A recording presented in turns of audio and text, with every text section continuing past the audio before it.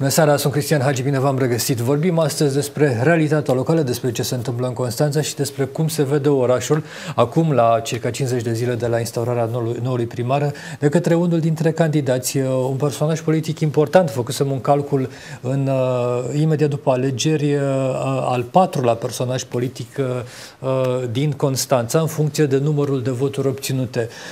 A fost directorul unei instituții importante din județul Constanța, cred că este, dar acum are o delegare la primăria Constanța. Interesant de ce a ajuns acolo și ce dorește să facă. Datorită acestui lucru l-am invitat uh, în platou astăzi pe domnul Horia Constantinescu. Bună seara, domnule Constantinescu. Bună seara. Cum vă simțiți așa după alegeri? Nu v-am întrebat niciodată, cred că n-ați mai fost după. Pe de o parte, un lucru pozitiv este că sunteți totuși al, al, al patrulea în clasament și este un loc uh, bun. Uh, pe de altă parte, ați pierdut alegerile. Este adevărat, sunt multe lucruri în viață pe care aparent le pierdem și totuși ele privite ca jumătatea plină a siclei reprezintă totuși un câștig pentru că fiecare etapă a vieții deschide alte și alte oportunități. Nu am privit niciodată lucrurile ce aparțin trecutului ca pe o poveste care a trebuit să mă împovăreze. Pierderea alegerilor, din perspectiva mea, a reprezentat un mesaj al divinității că deocamdată, cel puțin, nu am ce să caut acolo și iată că închidem o ușă și o deschidem pe cealaltă și viața nu contenește să ne rezerve surprize. Ați lăsat uh, funcția... Povestiți-ne, de fapt, cum ați ajuns uh, în primăria Constanța, lăsând în stand-by, cumva, funcția aceasta de comisar șef adjunct al Comisariatului Județean pentru Protecția Consumatorilor. Pe scaunul pe care l-am ocupat aproape patru ani la protecția consumatorului se află astăzi uh, o colegă, unul dintre cei mai buni comisari la nivel național nu înseamnă că am abandonat un proiect la care am ținut și țin foarte mult. Uh, este, în schimb, un moment de avansare, să spunem, într-o altă zonă.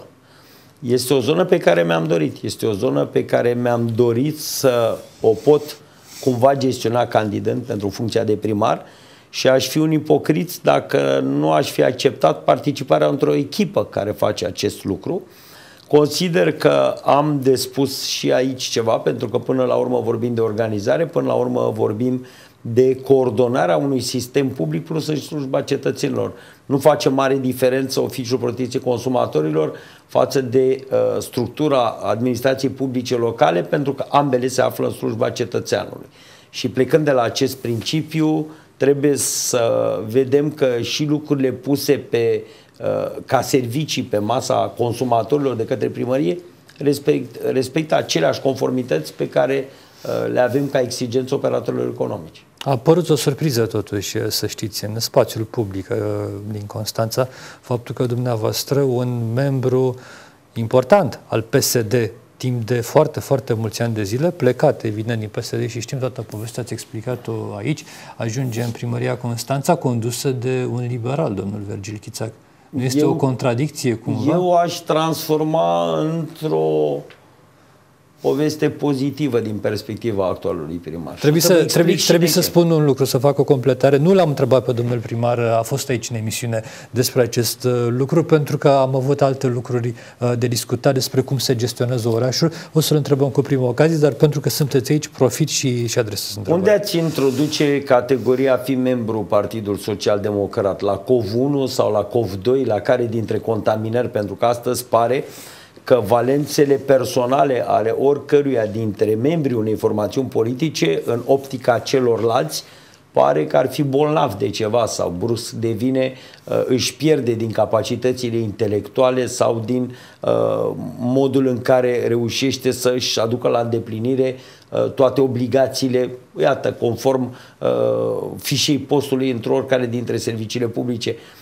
Nu știu dacă ne-am dat seama acum că sunt psd Patru ani pare că n-am fost atât de psd încât am putut conduce bine uh, OPC-ul, dar nu Și pot... ați avut și, și o, o serie de scandaluri, ca să le spun așa, de, nu știu, nu am închis inclusiv Scandale. locații ale colegilor de partid și am ținut cont numai de litera legii. Am transmis un mesaj de fermitate în piață. Am arătat că o instituție poate, fără a ține cont de astfel de înțelegeri de culise, să-și facă treaba așa cum trebuie. Ne-am dat seama după patru ani că sunt prea pesedist pentru a putea face ceva.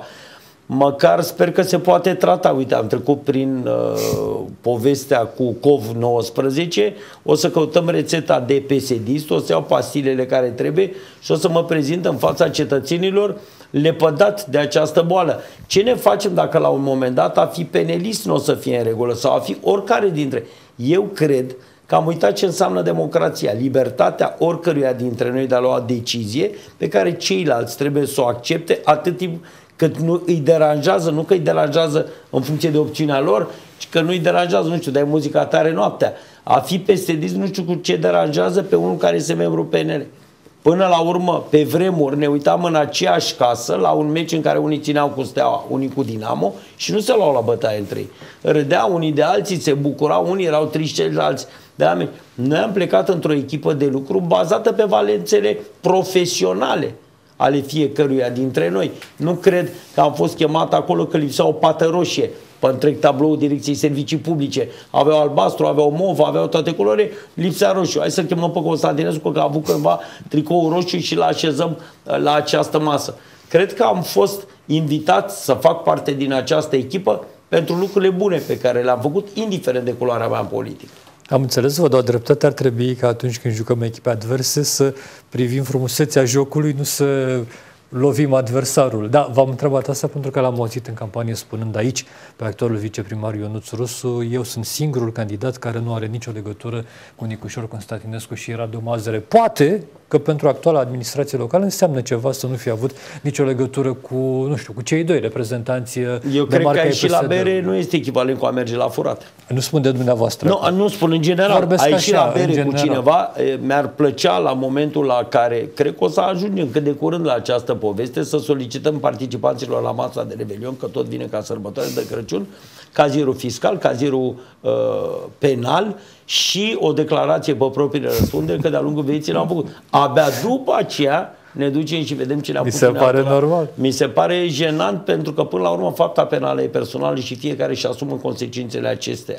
Am reputația de a nu fi luat niciodată șpagă am reputația de a fi adus lucrurile la bun sfârșit așa cum mi le-am propus cu fiecare dintre instituțiile pe care le-am Asta deranjează pe mulți dintre cei care ajung în contact cu mine, că stric ploile. Indiferent de culoarea acestuia, câteodată mă întâlnesc cu curcubeu de după ploaie. Are toate culorile politice, câte o anumită structură sau câte o anumită situație. Pentru că sunt unele afaceri care sunt transpartidice. Și și pe acelea le-am deranjat. Normal că nu mi-am făcut prieteni și în general nu caut asta. M-aș fi făcut trubadur sau saltimbanc sau clown dacă voiam să fiu simpatizat uh, și un tip aplaudat la scenă deschisă. Îmi place să las ceva în urmă. Am spus asta și o repet. Nu știu cât mai avem prin forța lucruri de trăi fiecare dintre noi. Vreau să las ceva notabil în urmă. Am arătat că s-a putut cu două dintre instituții, de fapt una aflată în subordinea celelalte și am arătat că s-au mișcat lucrurile într-o CJPC și ANPC. Și ANPC. Cred că și aici pot dovedi, sper să nu fiu lipsit de modestie, că pot schimba lucrurile în bine. Ați spus că n-ați luat șpagă. Vi s-a oferit? De multe ori. Da? Da. Cum să De Direct, multe ori, indirect? refuzul trebuie să fie vehement, așa spune actul normativ cu referire la corupție. Refuzul a fost de fiecare dată vehement. Râdeam la un moment dat că au fost situații în care m-am auzit cu prieteni cu care nu m auzisem de zeci de ani. Gigel aflase că am făcut școală cu Ionel și Ionel mă suna și îmi spunea, bă, în legătură cu Gigel, dar băi, hai să lăsăm lucrurile așa. N-am cerut nimănui niciodată să facă ceva abuziv ci doar să aducă la îndeplinire și îl întrebam pe cel care mă suna. Luăm noi doi o cârpă și ne apucăm și curățăm cărciuma la lucrătare? Ne apucăm noi să primenim hotelul lucrătare? Ne apucăm să faci? Mi-a adus dușmânia multora dintre demnitarii cu ghilimele de rigoare Constanței. Am luat măsuri ferme și au, au durut. Și am luat măsurile ferme uitându-mă în ochii lor, spunând că așa se va întâmpla, indiferent de presiunile exercitate. Am și câștigat cele mai multe dintre contestații, s-a arătat că am avut dreptate, nu mi-am făcut prieteni, dar nici nu, mi-aș, nici nu m-aș bucura să am prieteni din categoria aceasta. Din știința mea, unii, nu știu dacă mulți dintre cei amendați au înțeles aceste amenzi, da. l-au acceptat și S-au au reușit să au reușit să pună în ordine problemele pe care Permanent le am spus, întrebam și eu așa din, nu știu, uh, cu comicul situației, comicul de rigoare. Doamne, cam cât ar merge șpaga pentru a închide ochii la această poveste. Începea să râdeți. Uite, primul cadou e ca ai acești bani de la dispoziție să remediezi lucruri. Deja ai cu ce să investești. În loc să dai aici o sumă de bani, ca așa se făcea până acum, du-te și îndeplinește lucruri pe care trebuie să le faci. Și am arătat de fiecare dată că acolo unde lucrurile au fost îndreptate, am ridicat măsuri și am fost alături de operatorul economic respectiv. Cam asta este, uh, cam asta este societatea românească. Este obișnuită. Oricare dintre noi, înainte să avem o nevoie specială, sunăm un prieten să întrebăm dacă cunoaște pe cineva acolo. Oricare dintre noi. Îmi asum acest lucru când am avut probleme de sănătate cu părinții mei. Că înainte de a-i duce la un anume spital, suni un prieten să întrebi dacă cunoaște pe cineva știi acolo, pe cineva. dacă știi pe cineva. Este o boală națională. Știți sketch-ul acela lui Toma Caragiu, cred că așa se cheamă. Știi pe cineva, Da, nu. știi pe cineva, dacă, noi trebuie să știm pe cineva. dar Exact, dacă trebuie. nu E o știm pe boală cineva- națională. Dacă nu, dar nu ne duce să Da. încercăm ce se întâmplă dacă mă duc direct. Bună No, ziua. de multe ori trebuie să știi pe cineva. Te duci cu bună ziua că suntem obișnuiți și nu te Haideți să, bagă nimeni vă, în seamă. hai să vă relatez o situație prescrisă din punct de vedere al tentativei de trafic de influență. E vorba de mulți, peste Vă ascult. 20 de ani. M-am dus la o primărie din județul Ilfov. Normal, cu un telefon înainte, știi pe cineva, aveam un prieten care lucra în Ilfov, știi pe cineva, dar domnule, nu știu. Mă duc în audiență la primarul respectiv, zic, uite ce bine s-au mișcat lucrurile, m-a primit, ca să aflu de la primarul respectiv, că el avea în fiecare zi audiențe, într-o leșoare prima pe toată lumea. După care ce, doamne, dar ce voie de la mine? Că înțeleg că ți-a trebuit o pire. Zic, doamne, am și eu nevoie de o hârtie, un răspuns la o adresă, mâine, ok. Lă- Să uite la adresă, ce da, veniți mâine. Ce? Noi de obicei la seara răspundem pe loc. Dar pentru că aveți acea opinie importantă, o să pună hârtia mâine. Zic, nu, domnule, eu vreau azi. N-am primit-o ziua aia, am primit-o a doua zi. Bună, da. Și mi-a zis, n-ați avut măcar bunul simț să veniți până aici să vedeți ce se întâmplă. A trebuit să sunați pe cineva. Ei te dau hârtiile de genul la solicitarea la un răspuns, la o informație. Pe loc. Pe loc. Pentru că nu voiau să ne carce cu hârtii. Așa că există situații. Alea ar trebui notate ca exemplu. Haideți să vă povestesc eu ceva. Stau la coadă cu familia la o instituție a guvernului care eliberează acte. Nu spun care, că uh, e prescrisă fapta. De fapt, n-a fost nicio fapt. Și după ce stau o oră și se bagă lumea în față și nu se păstrează niciun rând, iese directorul și îi spun Domnule director, nu puteți măcar să aveți un nenorocit de automat, cum am văzut prin alte părți, apeși și stăm la rând ca să nu ne mai înghesuim ca vitele la coadă. Sau niște scaune pe care să stăm. Se uită supărat la mine, mă recunoaște și spune, domnul Hagi, dar ce problemă aveți? N-am nicio problemă, trebuie să scot documentul respectiv. Sunați-mă și rezolvăm. Nu vreau să rezolvăm. Am mai stat jumătate de oră la coadă. Dacă știam pe cineva sau dacă sunam, intram mai repede. De multe ori oamenii Nu au reprezintă dreptate. starea de normalitate. Păi nu reprezintă, nu. Dar de multe ori așa se întâmplă. Inclusiv în interiorul instituțiilor oamenii par certați între ei. Interdepartamental. Și mi-asum să spun lucrul acesta din coordonarea NPC-ului. Nu vorbesc de nimic din ceea ce se întâmplă astăzi în primărie, pentru că sunt încă într-o perioadă de evaluare a activității acolo unde urmează să mă integrez. Dar interdepartamental, în general, la multe dintre structuri și acolo e comunicarea deficitare, lucru care creează disfuncționalități în raport cu petenții sau cu cei care își doresc să obțină un răspuns. Normalizarea înseamnă tehnologie. Tehnologie cu termene foarte clare în care să fii obligat să răspunzi sau să justifici de ce nu ai răspuns, pentru că sunt situații în care, prin forța lucrurilor, necesită mai mult timp. Dar acest lucru va putea reprezenta un virus. Să poți urmări un fluxul unui document și din punct de vedere logic, nu numai uh, al evidenței acestuia. Domne, de ce stă la departamentul cu tare? Da, acum se pot urmări ce drept în primărie. Dacă depunem o hârtie, avem o cheie de control și știm cam Și, pe unde. Nu, știți unde e? Da, știu unde e. Nu Dar știu de de, ce ce e stă acolo, acolo și de și ce, de ce stă stă atât. atât? Asta Nu nu știu. știu. Da, nu. dar ar trebui stabilit pe categorii, pe categorii de documente, pe categorii de solicitări. Degeaba știi că e acolo, că nu te încălzește că nu e că ți-ai Am pierdut o copilul cerere pe plajă. depusă din 2018 și mă uit cu drag pe site-ul primăriei. E depusă din 2018, nu va fi rezolvată niciodată, dar știu că este acolo. Doamne Mă ajută, încălz- măcar știți că nu s-a pierdut Mă, asta. exact, Deja da, un da, pas și înainte. mă încălzește cu ceva, faptul că cineva totuși are problema, nu știu, mea și Hârtia altora. aceea e bine, e acolo. la căldură, adică mai ales în aceasta, nu e un numezeală, adică sunt multe Da, avantaje. dispărut, stă bine acolo. Da. Apropo de asta, până să, până să trecem la, la lucruri uh, care țin de, de activitatea noastră de acum, ați pomenit de COVID-19, am citit și în presă că ați trecut prin episodul acesta. Cum a fost, domnule Constantinescu? Primele zile, cruncea, nu vreau să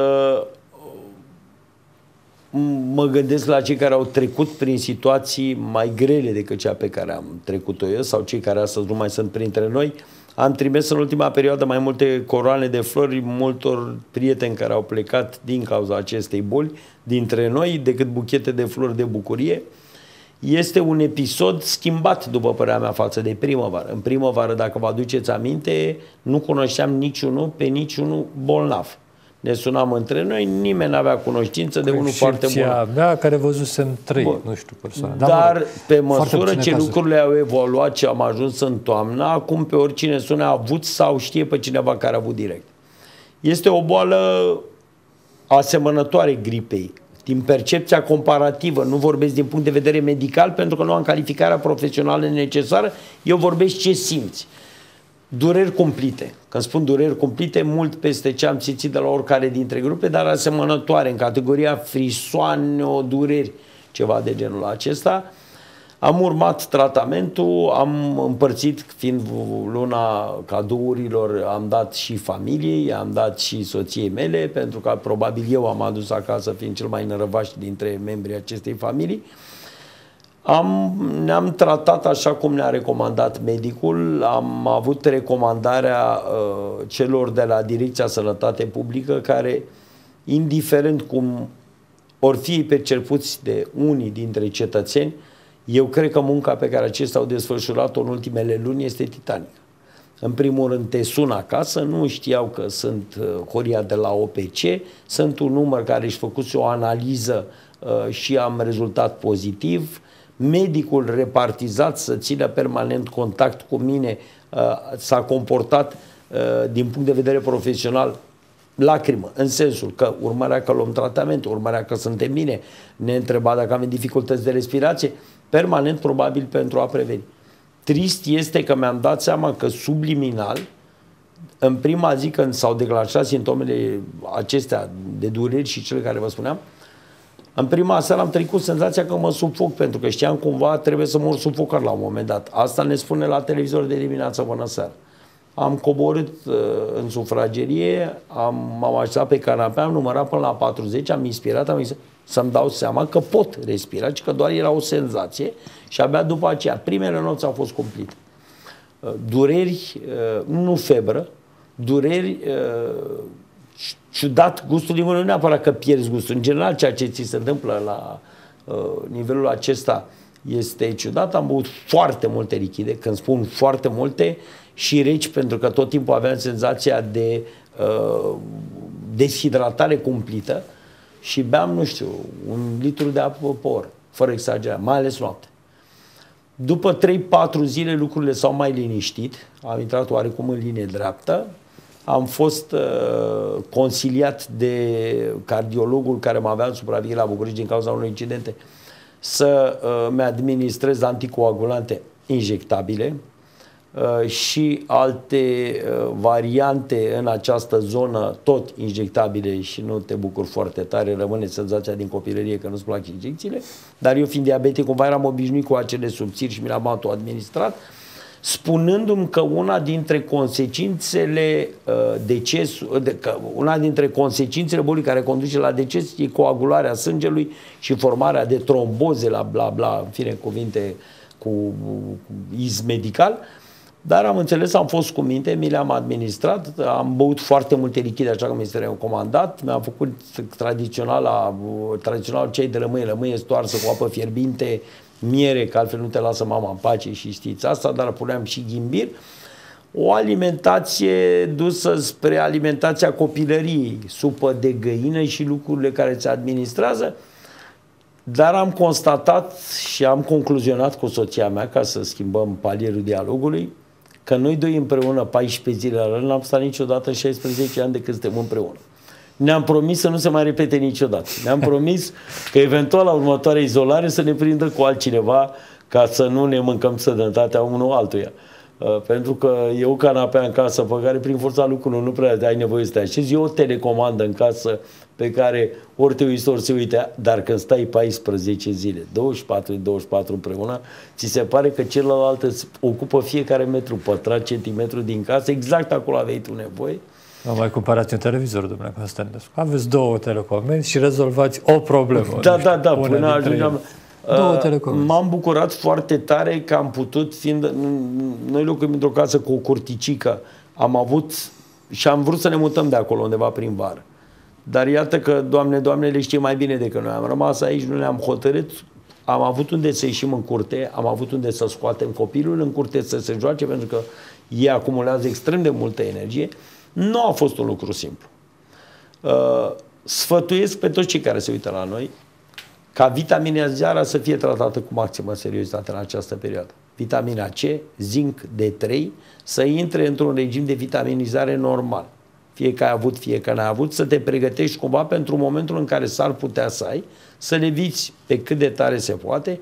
Se moare astăzi, vă pot spune, dacă eram sceptic și recunosc că mi-asum fără ipocrizie, că în vară era, făceam parte din categoria scepticilor. Cei care, conform contradicțiilor din piață, informațiilor contradictorii din piață, mă gândeam că doar ăia care au cine știe ce povești personale.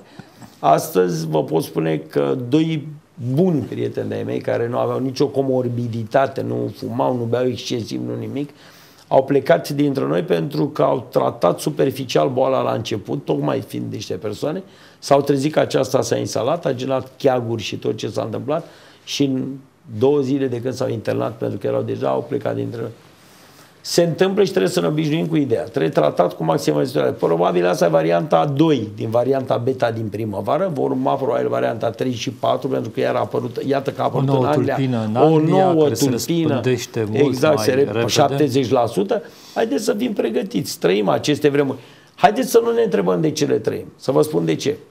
De când sunt în cadrul primăriei, unul dintre serviciile pe care uh, îl pot evalua la acest moment este cel al uh, salubrizării urbane. Marea operațiune de salubrizare a celor șapte zone raportată de primărie la încheierea fiecăreia dintre etape. În momentul când aruncăm o hârtie de gunoi pe stradă, o hârtie, pardon, și creăm gunoi pe stradă, în momentul în care aruncăm șaorma pe stradă sau alte resturi, trebuie să ne gândim că alea la un moment dat hrănesc șobolani, înseamnă putrefacție, înseamnă toate aceste consecințe. Asta e societatea pe care cumva tacit am acceptat să o lăsăm să crească. Și atunci degeaba spală astăzi cel care salubrizează străzile, pentru că nu poate intra în fiecare în care la un moment dat cineva a aruncat gunoi.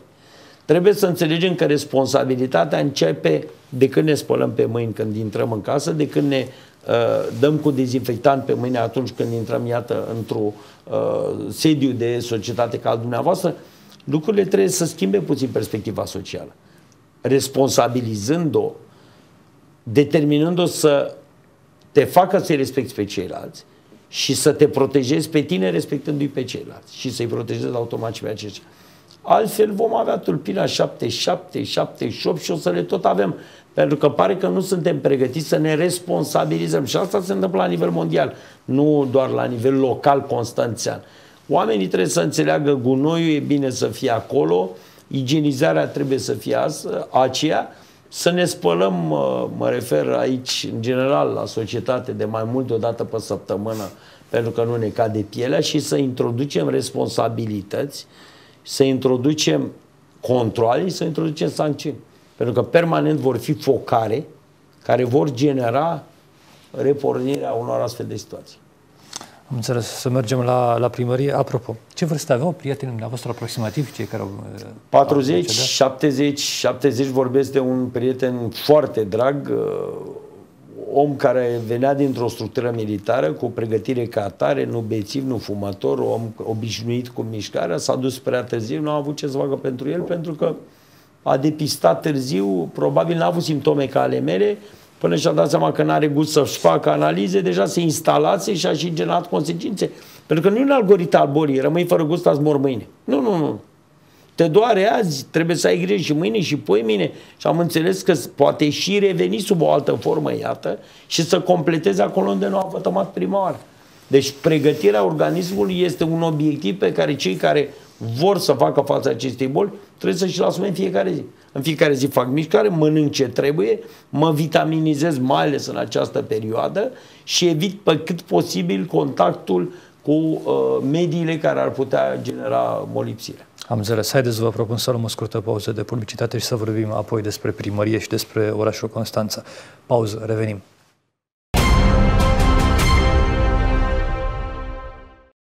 Ne-am întors în platoul Dobrogea TV. Scopul principal al emisiunii este să vorbim despre ce ați găsit la Primăria Constanța și ce vreți să faceți acolo, care sunt, prima întrebare, direcțiile de care vă ocupați. Direcțiile Știți? și în termen așa filozofic, nu neapărat uh, uh administrativ. Exact. Uh, haideți să vă spun ceva. Cunoașteți situația uh, poveștii dintre Zugravul nou și Zugravul vechi. Întotdeauna când apare un Zugrav nou în casă, spune ce greșit era ce a făcut la dinainte și ce bine va face el. Nu vreau să pic pe această pantă. Sunt, într-adevăr, multe dintre lucruri perfectibile. În primul rând, la ce trebuie să muncim începând cu ieri, începând cu acest nou mandat al administrației publice locale, este relația într-o direcție constructivă dintre administrația publică locală și cetățean. Cetățenii trebuie să înțeleagă că au nevoie să devină responsabili și au nevoie să se integreze într-un nou program care să poată oferi lucrurile pe care ni le dorim în Constanța. Noi astăzi cheltuim excesiv de lucrurile pe care le constat cu salubrizarea. Cheltuim excesiv cu salubrizarea pentru că marea majoritate a cetățenilor nu înțeleg că reciclarea este obligatorie pentru a lăsa copiilor o moștenire bună din perspectiva unei naturi mm, curate. Am fost personal la groapa de gunoi să-mi dau seama cum arată ceea ce ajunge acolo. Arată a plastic amestecat cu gunoi menajer, imposibil de sortat de către cei care ar trebui să o facă, pentru că amestecându-se cu aja de banană cu petul, petul devine uh, uh, uh, nepotrivit reciclării. Pentru această situație încerc să analizez o nouă oportunitate, deschiderea din nou a centrelor de colectare punctuale așezate în fiecare dintre cartierele constanțene, motiv pentru care mâine am o întâlnire uh, în mediul online cu marea majoritate a reciclatorilor din județul Constanța pentru a nu părea că ne-am gândit doar la unul dintre aceștia, pentru a discuta principiile și a lansa această nouă oportunitate, aceea de a învăța că petul poate să-ți aducă bani în loc să plătești bani este situația pe care o vom construi înainte să uh, aplicăm sancțiuni. Era ciudat cum uh, erai sancționat că nu parcai cum trebuie în Constanța, dar nu aveai parcări amenajate suficiente. Plecând de la acest principiu, vom creiona un astfel de algoritm în care gunoiul să poată fi gestionat corect. Și o să vă explic și de ce din perspectivă financiară. Un cost este al gunoiului menajer fără uh, materiale reciclabile și un cost este al uh, gunoiului amestecat. Uh, este un cost uh, suportat astăzi de administrația publică locală, dar care ar trebui la un moment dat descărcat către cei care nu înțeleg că au obligatorie sortarea. România este astăzi, plătește o amendă zilnică, mi se pare de 200.000 de euro, către comunitatea europeană pentru că nu a luat măsuri suficiente. Trebuie să evaluăm întreaga activitate a operatorilor economici implicați în salubrizare, reciclare din ultimii 20 de ani, să ne dăm seama unde vrem să ajungem, să avem o nouă regulă a jocului și încet, încet să o implementăm, reducând cantitatea de deșeuri reciclabile și educând în felul acesta populația că gunoiul înseamnă nu să cheltui tu, ci chiar să încasezi bani. Exemplu, stau containerele amplasate la diversi operatori economici, ori în interiorul în parcare, unde te duci cu petul și în schimbul petului ți se liberează un voucher. Trebuie să conștientizăm și voi lucra la un material de prezentare a activității unei gropi de gunoi. Să înțeleagă cei care, ast- cei care astăzi, și eu, fără ipocrizie, spun că altfel conștientizez lucrurile acum. Nu ascund faptul că și eu aruncam petul în galeata de gunoi. Astăzi văd altfel lucrurile. Ducându-mă la groapa de gunoi și dându-mi seama ce cantitate de plastic urmează a fi îngropată, pe care o vor dezgropa străstră nepoții noștri în încercarea de a-și construi o casă. Și vor găsi un ocean de deșeuri. Știm că plasticul se integrează în natură într-un milion de ani. Și atunci va trebui să înțelegem de ce trebuie să reciclăm. Vor fi mai multe acțiuni de informare, de educare, de corijare și de sancționare, bineînțeles, ulterior, inclusiv în raporturile cu operatorii economici. Aceștia au obligația. Vă dau un exemplu. Uh, astăzi nu este luată nicio măsură împotriva celor care trimit pe piața constanțeană deșeuri și ei nu au obligația să se ocupe de acestea. Gândiți-vă la delivery la șaurmării. Șaurmăria pune produse pe piață, normal că el plătește două tomberoane de gunoi. Dar el pune produse pe piață care încarcă doar, pentru, doar uh, datorită clienților lor, încarcă municipalitatea cu deșeuri în cantități nu mici astăzi, în coșurile stradale de gunoi, deșeuri nereciclate, ce nu pot fi din cauza amestecului de cică, pe care noi le plătim toți la suprapreț. Trebuie să stabilim că cine generează trebuie să poată plăti uh, diferențiat de un cetățean altul decât cel care câștigă de pe urma acestor. Trebuie să aducem lucrurile la normalitate. Sunt foarte mulți cetățeni supărați, de exemplu, că primăria nu intervine pe rondurile din jurul blocurilor. Nu e actuala administrație cea care a hotărât și vechea administrație în 2013, prin hotărârea Consiliului Local 184 stabilește că asociațiile de proprietari în arealul blocului trebuie să ia măsurile curățatului, uh, gestionatului uh, deșeurilor vegetale, să strângă uh, acolo unde apar deșeuri aruncate de alte gunoaie pe spațiu public, să ajungem într-o zonă de normalitate. Această hotărâre de Consiliu Local nu a fost aplicată niciodată. Și vă întreb eu, dacă oricare dintre locatarii blocului respectiv ar câștiga la loto mâine, Doamne ajută, își cumpără o vilă cu peluză, urmează primăria să-i tundă iarba pe peluză? Sau în situația în care ai peluza ta, ți-o tunzi tu. Dacă e o peluză la comun cu ceilalți vecini, nu te mai ocupi de ea. E ciudată această abordare. Nu e uniformă. Așa cum proprietarul de casă nu cheamă primăria să-i grebleze curtea, haideți să înțelegem, curtea fiecăruia dintre blocuri va trebui într-un regim de normalitate să ajungă, așa cum spune HCL-ul din 2013, în administrarea asociației respective de proprietari. Ne gândeam la un moment dat să lansăm și o tombolă. Doamne, cea mai frumoasă dintre grădini va primi din partea primăriei necesarul de echipamente de grădinărit pentru uh, întreaga zonă. Cred că s-a mai făcut, domnule Constantinescu, dar n-a, n-a funcționat, să știți. Cum nu funcționează nici acum? Cum e obligați pe oameni să-și facă curat lângă uh, bloc? Nu știi, te învățăm nu poți, te ajutăm. Vom ajunge prin a arăta și a trimite către aceștia toate informațiile. De exemplu, că pot apela la servicii să centralizeze serviciul. Plătești grădinarul. Uite, dacă ești mai bogat decât ăla care ești tu de singur pe luz, ai un grădinar. Grădinarul vine și se întreține. Dar Constanța nu poate cheltui banii dumneavoastră care locuiți la casă și vă greblați curtea să întrețină curtea vecinului care să la bloc.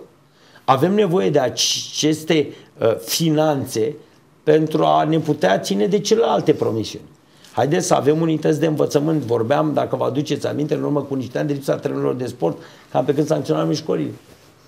Pe haideți să vedem că avem bani pe care nu îi risipim să măturim, să măturăm în fața magazinelor, inclusiv operatorii economici au obligația în fața magazinului să igienizeze. Astăzi, mătură societatea de salubrizare. Am luat legătură, zilnic am aproape am întâlnit cu aceștia, am luat legătura și am stabilit să începem să ne comunicăm zonele în care nu se întâmplă pentru a le raporta poliției locale și pe baza hotărârii de Consiliu Local să le transmitem avertizmentul și obligativitatea și de ce nu sancțiunea. Mai mult decât atât ne dorim modificarea și în condițiile în care tu ești uh, uh, în continuare îndărătnic, noi îți vom factura inclusiv serviciile prestate de operator. Dar nu e normal cel care își mătură în fața magazinului, din taxele pe care le plătește, să plătească și un ban din acestea pentru cel care nu înțelege să respecte orașul în care câștigă bani în felul acesta. Deci... Și încet, încet vom construi o relație corectă, cum spuneam încă la început, între administrația publică locală, cetățean și deci un operator economic. Deci începe să dați amenzi celor care nu-și fac curățenie în față, fie că sunt cu asociații de proprietari, fie cu că siguranță, sunt Cu siguranță, la un moment dat, da, pentru că reprezintă o stare de normalitate.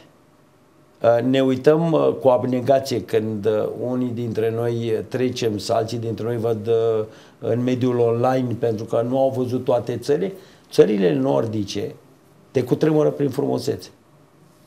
Uh, eu sunt convins că austriacului în geam nu-i pune nimeni florile. Nu vine primăria să iude florile din geam, nu vine primăria să-i măture în fața casei și acolo pare concursul de care vorbeam mai devreme, chiar și fără premii, pornit din ce ești dintr-un oraș frumos, intri într-un sătuc și mai frumos. Lucrurile și ne uităm spune, bă, ce bine o duc ăștia.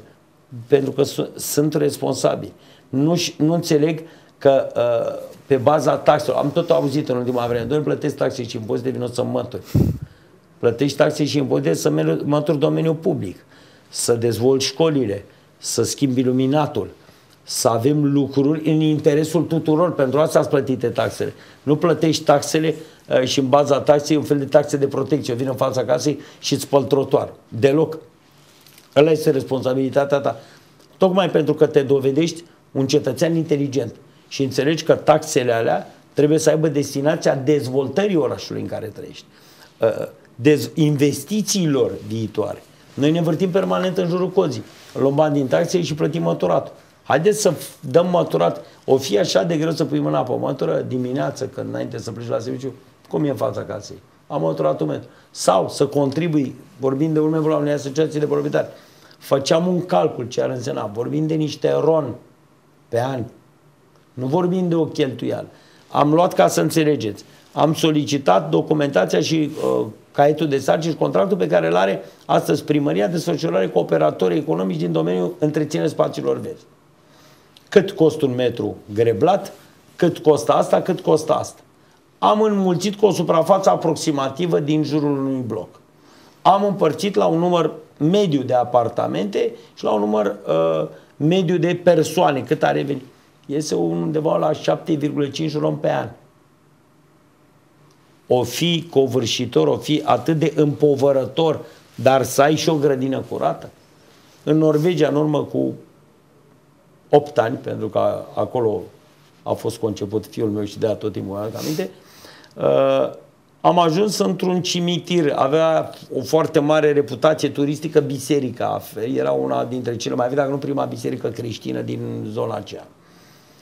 Și am văzut în cimitirul de lângă foarte mulți seniori care în genunchi, care cu tractora și, și l-am întrebat dacă se pregătește, e o sărbătoare, nu am intrat în vorbă. Și mi-a zis, nu, nu, nu, noi ne pregătim locul unde oricum o să ajungem, nu peste foarte mult timp. Uh, și am înțeles că, în general, seniorii comunităților sunt cei care au în grijă cimitirul și toate locurile destinate lor, neîmpovărând primăria. În condițiile în care primăriile norvegiene sunt chiar foarte bogate, nu bogate. Dar totuși integrarea cetățenilor este frumos să ieși la aer. Vă aduceți aminte că suntem aproape de o vârstă Înainte de 89 erau muncile de primăvară, muncile de toamnă, toaletarea și îngrijirea rondurilor de rabă era obligatorie și arătau într-un anume fel. Astăzi ne plângem că orașul e gri, dar suntem parte dintre pictorii care îl prezentăm în felul acesta. Da, sunt curios să văd dacă veți reuși să îi mobilizați pe Constantin, să ne mobilizați, așa mai inclus. Să ne mobilizăm. Să ne mobilizăm cu toții. Da, eu da. arunc peturile în altă pungă acum de când am ajuns să lucrez aici. A, eu M-a să știți că le arunc dinaintea dumneavoastră în altă Doamne pungă, ajută. Da. V-am da. obișnuit că nu sunt ipocrit. uh, ai impresia că unul, două peturi nu contează, fără să iei în calcul că 300 de mii de oameni care gândesc ca tine aruncă pe lună 3 milioane de peturi. 10 pe lună. 3 milioane de peturi. Gândiți-vă ce volum înseamnă. Amestecat cu gunoiul menajer, acesta nu mai poate fi reciclat. Și îl îngropăm, lăsând-l moștenire copiilor noștri. M-a cutremurat cum arată groapa de gunoi. Acum și pungile de plastic reciclabile am pus separat, până mi-a zis cineva, mă, alea deja reciclabile, alea biodegradabile, cele care le de la unele magazine. Da, da, da. Pune-le pe alea în pungă, plasticul reprezintă altceva. Dar da, mi-am dat seama că trebuie să le cutremurăm fiecare dintre noi și mai mult decât atât, ca să continui uh, asumările, autodenunțurile, ca fumător înrăit, aruncam țigările pe geam. Până mi-am dat seama că fumători înrăiți nesimțiți ca mine, care fac acest lucru, au umplut acest oraș de mucuri de țigare. Astăzi, plimbându-mă împreună cu colegii inspectori care recepționează străzile, în ziua în care am făcut primii pași cu aceștia și mi-am dat seama ce înseamnă, În fiecare dimineață când îmi iau cafea, o beau repede, îmi las puțin din cafea și am paharul cu țigări în mașină. Sunt multe lucrurile pe care le tratezi superficial la momentul la care auzi de ele. Dar cred eu că filmarea pe care aș pregăti-o cu groapa de gunoi și tot ceea ce se întâmplă, și nouă. Da, pentru că arată realitatea care ar trebui să ne cutremur. Am înțeles. Să știți că oamenii nu vor conștientiza imediat faptul că nu trebuie să arunce un pet pe jos sau un muc de țigară. Ce faceți când trece cineva și aruncă o țigară pe stradă? Îl puteți amenda, îl puteți... Să-l putem, bineînțeles, Cum? și amenda. Instalați camere, ce faceți? Nu, haide, uh, Pun, nu puteți să puneți 10.000 de polițiști pe stradă. Nu 10.000 de polițiști, dar și care sunt în momentul în care văd așa ceva aplicând o sancțiune usturătoare, usturătoare, Uh, cre- și public, așa cum am... Uh, dar să știți că nu e usturător acum, nu știu, e 100 acum, de lei derizorie, sau... da. Uh, dar uh, n-aș vrea să pară, dar exact abordarea de la OPC, vă aduceți aminte, uh, la început mi că nu o să funcționeze nimic în primul an când am ajuns. Începând să transmit materiale în piață, ce se întâmplă dacă nu înțelegi să respecti legea, încet, încet, uh, mulți dintre operatori economici zic, bă, decât să mă închidă, nu, mai bine mă apuc și fac curat, Cam acolo ar trebui să ajungem. Un prieten care deține un restaurant îmi spunea, cred că v-am mai spus în particular, de frică să nu vine Horia în control, am schimbat tot, arată lună, mi-a arătat, arătat totul lună. A zis un singur lucru, aveam greșit, greșit între ghilimele, o gresie crăpată puțin. Am schimbat-o și pe aia să fie tot în regulă. A schimbat și deci, gresie. că se poate. Haideți să vedem cum puterea exemplului să ne mobilizeze. Deci vă gândiți la, la majorarea amenzilor pentru astfel de fapte? Fără discuții cu da, fără discuții cu da, că da, uh, ne gândim și la instalarea unor sisteme de supraveghere pentru zonele nevragice, rampe de gunoi spontane, le numim noi, în care uh, am tot fost acuzat că spun lucrurile pe nume, nemernicii sau nesimțiții uh, își duc uh, molozul gândindu-se că de acolo oricum vine primăria și ridică primăria, ridică pe banii fiecăruia dintre noi sume exorbitante sunt cheltuite în direcții greșite pentru că este normal să strângi noi totuși de acolo. Și iată că încet, încet avem un proiect de instalare a camerelor de supraveghere, abia așteptăm poliția locală să nu mai fie uh, solicitată uh, pentru uh, și să se întoarcă uh, în slujba comunității în această direcție. Acum ea, ea ține este, de, ține de MEI, e controlată de MEI, exact. de primăria Constanța. Și atunci încet, încet să putem construi să învățăm oamenii să fie, se certe între ei. În Germania am pățit, m-am dus să îmi iau niște fructe la magazin și am parcat rapid, încălc, călcând cu roata din spate, am zis, marcajul alb. Am găsit un echipaj de poliție, scria amendă destul de usturătoare, i-am zis, haide, stați puțin, că plecam imediat, uite punga cu fructe, nu se poate. Deci, pe ne-a sesizat un cetățean. Zic, de unde? Din bloc. Ei nu puteau să uite în ochii să spună că n-au luat nicio măsură în condițiile în care toate mașinile erau aliniate și le așa mi-am învățat lecția pe viață în Germania. La, nu... la noi se spune de altfel, că da, dacă reclamă astfel de fapte, se cheamă că îl părăști, da, da, da, da, că da. Nu, nu e bine, nu da, e bine știu. la noi. Da, da, da. Trebuie părâte anumite lucruri. Trebuie părâte anumite lucruri, sunt lucruri pe care le-am depistat și pe care nu neapărat uh, pâra e cea care le remediază, ci apucarea taului de coarne. Sunt multe dintre lucruri, așa cum am găsit și la OPC și în general în instituțiile publice, cu tuma bate legea. Lasă-o mă că merge așa. Așa se făcea. Am găsit-o la nivel de ANPC. Zic, da, de ce există vreun act normativ care spune da sau nu? Nu. Deci de ce se face? Pe așa se făcea. Această cutumă trebuie zdruncinată și responsabilizat fiecare dintre cei. Vreau să nasc un grup uh, ori pe Facebook, ori pe WhatsApp, în care oamenii să devină polițiștii și inspectorii noștri. Pe strada cu tare share location, nu este curățat suficient uh, nu este curățată suficient da. stradă. Să trimiteți, nu știu, o echipă nu să verifice. Să, să putem vedea a cui e vinovăția, în primul rând, pentru da. că eu echipele aș vrea, haideți să vă spun ceva, decât să greblez în fața unui bloc nu trimitem toate echipele cu care, ai operatori economici cu care avem contract în parcul de băcării? Are 100 de hectare. Nu acolo merge? Nu mai bine trimitem în parcurile existente astăzi și degradate avansat pentru a aduce la verde și la lumină? Și nu mai bine ține pasul cu noi asociație Produce. Gândiți-vă că vorbim 2000 de metri pătrați, 3000 de metri pătrați aferenți unui bloc, 60 de apartamente mici ci, uh, 500 de metri fiecăruia. 3 minute de ieșit la apă verde. Dacă am avea o căsuță cu 500 de metri, ne-am bucurat să grebă în Duminica, să fie întreținut. Eu aici unde stau e un complex de case. Uh, parcă e concurs între vârstnicii care le, seniorii care sunt acolo, marea majoritate navigatori, prieteni între ei. Uh, mi-e rușine că n-am timp să greblez pas la pas cu ei, mai vorbesc cu câte prieteni, arată impecabil peluzele. E locul în care se relaxează, se destin. Ce ne face? Vrem spații verzi în Constanța, dar nu să începem cu ale noastre. Am înțeles. Vrem și parcări în Constanța, să lucrează la un regulament al parcărilor. Acum nu să vă rog să-mi dați detalii din regulament, pentru că el se reculează. Da? O să va fi pus în transparență. Exact. Care este filozofia care va sta în spatele, sau care ar trebui să stea în opinia dumneavoastră în spatele unui regulament de parcări într-un oraș cum este Constanța? Au fost studiate regulamentele mai multor orașe, inclusiv din Europa, nu numai din România, dar și din România. Mai mult decât atât, la recomandarea unui uh, inginer de la Confort Urban, uh, am uh, descărcat de pe internet o carte extraordinar de interesantă care vorbește de istoria parcărilor din New York și Londra. Tot ce au traversat cei care au amenajat, taxat, dezamenajat, reamenajat, retaxat, netaxat, uh, este extraordinar de interesantă cartea. Și londonezii au o istorie de parcare, de fapt ca și cei din New York, New York. au pus taxe de congestie, au N-au... scos au mărit au, are, a funcționat un an de zile, apoi iarna a funcționat o întreagă nebunie.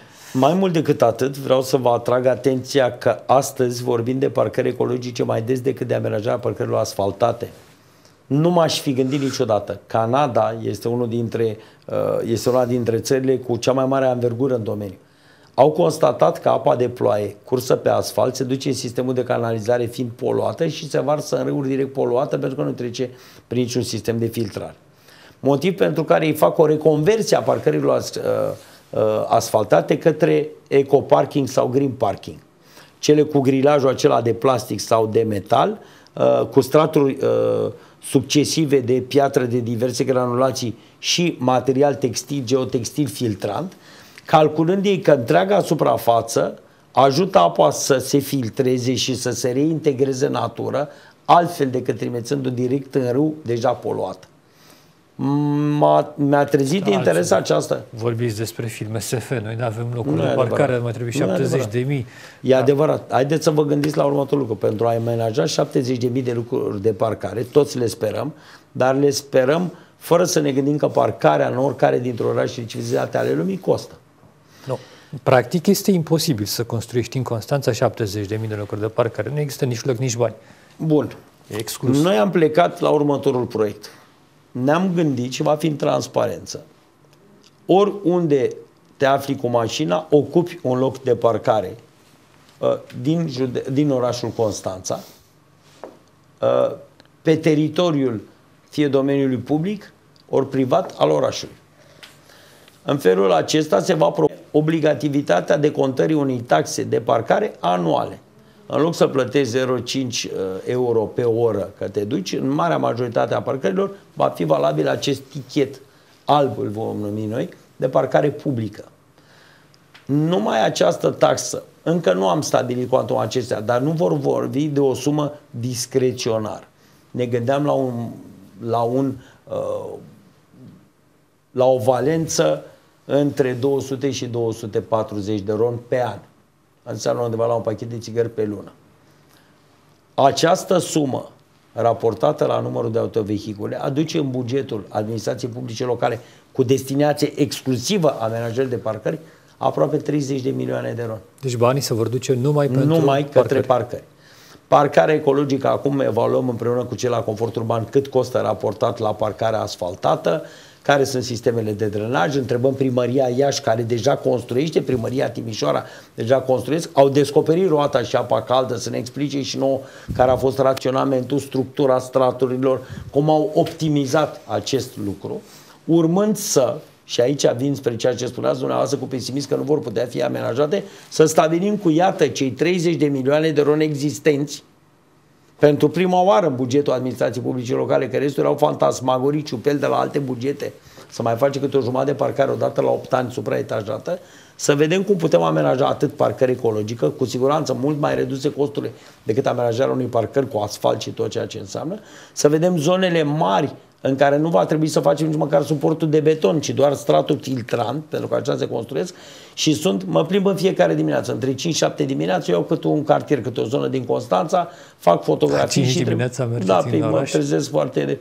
Uh, sunt pe teren și fac fotografii a terenurilor virane care cândva erau grădini, sunt total improprii reconversii către grădini.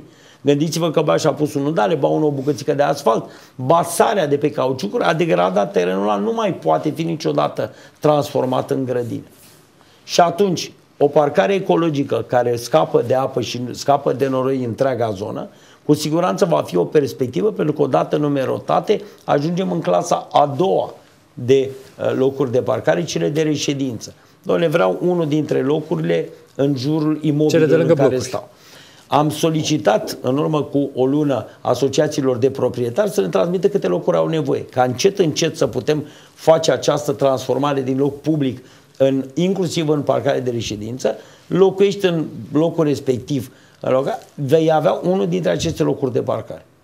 După care avem parcarea preferențială, vreau acest loc de parcare, ăla reprezintă o taxă, o brană subțire cu cheltuială se ține. Bineînțeles că vom avea în continuare parcările uh, rapide, care să nu te lase să-ți lași autoturismul uh, o zi întreagă acolo, în jurul instituțiilor publice, în jurul locurilor cu trafic intens. Haideți să spunem, pe, pe, pe Bulevard Zomis, în zona primăriei acolo, în centru, vin și parchez, o să plătesc o taxă anuală de 200 de lei și pot parca oricând în jurul primăriei? Nu, va fi și, vor fi și locuri, de exemplu, Deci va- destinate... va fi cu va fi o parcare- parte parcare publică, exact cum spuneți, uh, de, destinată, dar cea, nu știu, foarte apropiată primăriei. Am declarat ceva, am depus un document, am așa, va avea o taxă. Va fi cu taxă pe oră, Va da? fi cu taxă pe oră ca să te determine să pleci de acolo sau să-ți cauți un loc în parcările publice, pentru că asta este și ideea. Oferi tuturor o variantă înainte să-l restricționeze, oferi și o variantă la 100-200 de metri de primărie, face câțiva pași pe jos în parcarea publică, sau vrea să ajungă imediat lângă, are declarat niște dosare, dar trebuie să vină să Am plece înțeles. repede. Se plătește va așa cum parca. se plătește în toată lumea. Da. Exact. Trebuie să vii să plătești. Altă problemă. Un bloc pe, dau un exemplu, Tomis Nor, Bulevardul 89, unde vreți, are 50 de locuri de parcare acum, făcute de primărie în spate, pentru că atât, atât loc este, dar sunt uh, 100 de cereri. Ce facem? Până acum, acum se aplică principiul primul venit, primul servit. Dacă am Greșit. avut noroc să depun primul cerere, e locul meu pe veci, 24 de ore din 24 și plătesc 200 de lei pe nu an. este parcă. adevărat și acum există un regim de onorar între ore și altele, că mi se Nu pare. s-a anulat regulamentul. Acum îl ai 24 din Bun, 24. va Dar nu fi din contează nou în asta. acest regulament, uh, parcarea este rezidențială între uh, orele în care tu vii acasă. Deci nu este parcarea va fi 24. rezidențială nu 24 din Da, 24, ci rezidențial. Locul preferențial va fi 24 din 24. Mă duc Da, da, da. Să-l mătur. Vreau să fie la un preț care să justifice. Eu mă trezesc oricum la 5. O- Mă gândeam la o sumă. Doamne, vreau eu locul ăsta. Că noi îți oferim atâtea variante, dar tu insisti să ai acel loc. Operatorul subțire cheltuială se ține, dar și noi venim, ți-l măturăm, uh, îți împrăștiem pe talie. am înțeles, alegem dar trebuie să acum. fie scump, scump așa. Dar ce, Scump, ce scump. facem? Dacă avem 100 de locuri și 50, 50 de locuri de parcare și 100 de cereri. Analiza va fi punctuală, nu putem, nu putem genera o regulă a jocului, dar noi ne gândeam și vom lansa în transparență inclusiv această abordare, acolo unde locurile rezidențiale sunt mai puține decât solicitările licitații. Uh, poți să-ți duci mașina la 300 de metri într-o parcare publică. Ai două mașini, ai trei mașini, te duce soțul dimineața la mașină. Știți ce cred eu că vom descoperi foarte tare? Ce frumos e să circul cu transportul în comun, ce frumos e vara să iei o bicicletă, ce frumos e să sun la un taxi. Vi se întâmplă să fim, nu știu, sunt convins că vi se întâmplă, sunteți invitat la o familie prietenă, încă împreună cu câțiva prieteni, incredibil. În parcarea rezidențială a respectivului v- vor trebui parcate 10 mașini. Că tocmai a venit prieteni. Niciunul dintre aceștia nu sună la taxi dus și la taxi întors în condiții în care chiar poate bea o bere.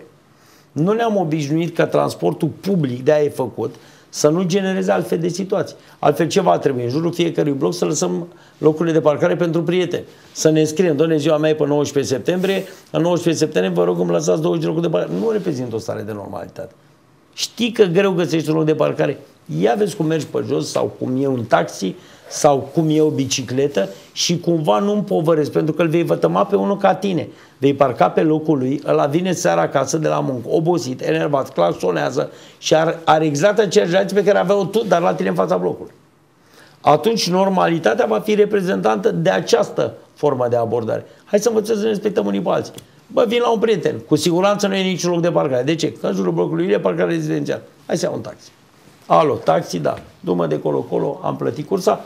Credeți-mă că raportat la NEF cu locul de parcare, consum de combustibil, uzura cauciucurilor, a uleiului, nervii și toate astea, e același lucru să iei un taxi și le eviți pe toate acestea. Mulțumesc mult pentru prezența în emisiune. De pe acum vă invit să știți, atunci când veți lansa în dezbatere publică regulamentul acesta de parcări, la o discuție, pentru că este un subiect uh, foarte Sunt foarte sarcastic interesant. și cred că v-am obișnuit. Haideți să vedem cât spurici fac într-o zonă în care împotriva mea încă sunt oameni care își doresc să lase lucrurile așa cum erau. Eu nu le las așa și am obișnuit că pot să le duc într-o altă zonă. Cumva lucrurile trebuie schimbate. Vorbeați de licitație, sunt orașe în Constanța, sunt primari care au spus așa, nu În putem, România. în România, nu putem aloca locurile acestea când sunt cereri mai multe decât prin acest sistem. Există instanțe din România care au spus vreți doi oameni în același loc de parc, citați pentru ele. Ce Aceasta restul este pleacă. soluția legală. Ne place, nu ne place, așa Asta e nu putem varianta, să da. descoperim, uh, să reinventăm uh, roata. Dar de ce? Vi Mulțumesc. se pregătește ceva? Nu, dar permanent sunt... uh, Eu sunt obișnuit la nivelul structural, pe când eram șeful corpului de control. Când mergeam într-un județ și făceam control și puneam lucrurile pe tapete exact așa cum erau, începeau sesizările către conducătorii instituției.